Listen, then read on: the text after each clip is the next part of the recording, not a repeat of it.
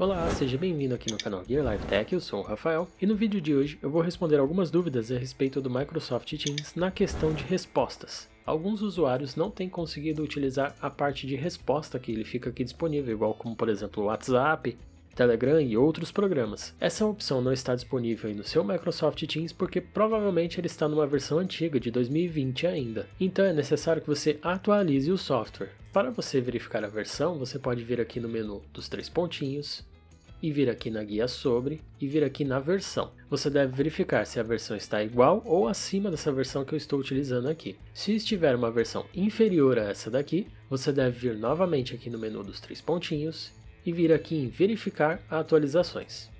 O Microsoft Teams vai verificar as atualizações e instalar elas automaticamente aí para você. Provavelmente vai reiniciar aí o seu aplicativo. Após reiniciado, você pode testar o menu e você vai ver que a opção de resposta vai aparecer aqui normalmente para você.